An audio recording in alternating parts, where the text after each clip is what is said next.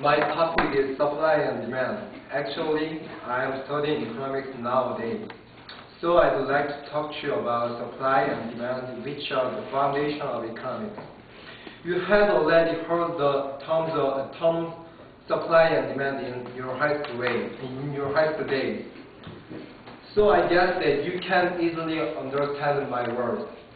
First, demand means the desire or, the desire or need of customers for goods or services which they want to buy or use. For example, on the assumption, on the assumption that Derek's allowance is $500 and he he likes coffee and he spends all allowance to buy coffee. Actually, uh, this coffee. Uh, the, if the coffee price is ten dollars, he can buy he can buy fifty cans. However, in this case, he can only buy sixty cans. uh, this will be ex expressed is curve, demand curve. Demand curve. It- it- this is directed various demand curve.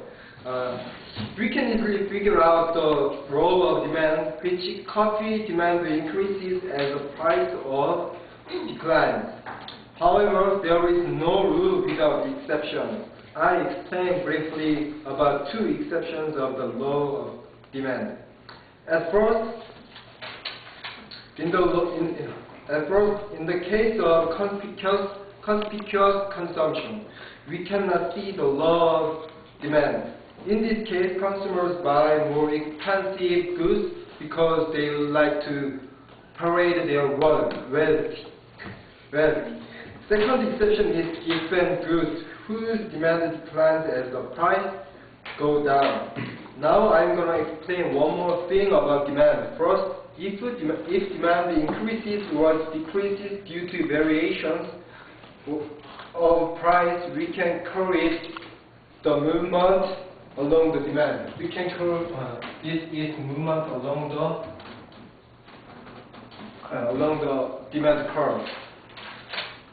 However, if consumers' allowance increases or decreases, there is the shift of the demand curve. If uh, uh, consumers' price, uh, consumers' allowance, allowance increases, there is will happen shift of the demand curve.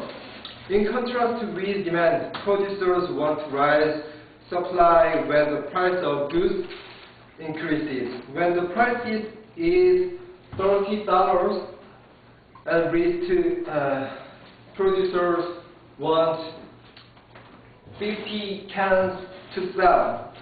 It means that they shall and raise 50 cans in order to seek a profit. Look at this graph. Contrary to demand curve, supply increases as the price increases. Prices increase, supply increases also.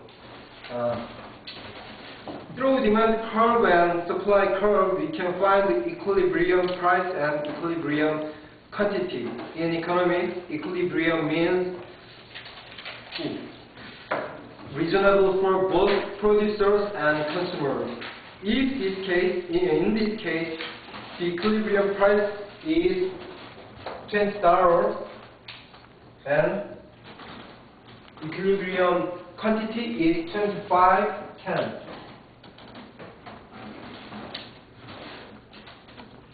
Supposing that the price of Nescafe is thirty dollars consumers want only consumers want only 60 cans. However, producers want to sell 50 cans. Therefore, excess, uh, excess supply happens in this case. This is excess supply. On the other hand, if the price of price of Nescafe go down below equilibrium price, there is excess demand. Now let's apply the shift of the demand curve to this graph. If consumers' allowance, allowance increase, if consumers allow to increase, the demand curve shift upwards. In this case, both equilibrium price and equilibrium quantity also increase.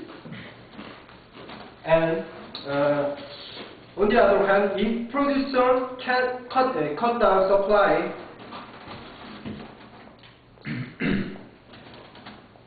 if producer cut down supply, the supply curve shifts upward. In this case, equilibrium price also increase, but equilibrium quantity go down.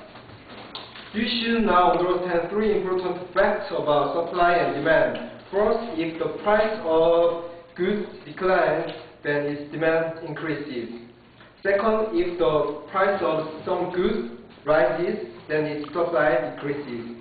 Finally, through the oh, I'm sorry. If the price of some goods rises, then its supply increases. Finally, through demand and supply, we can find the equilibrium, price and quantity.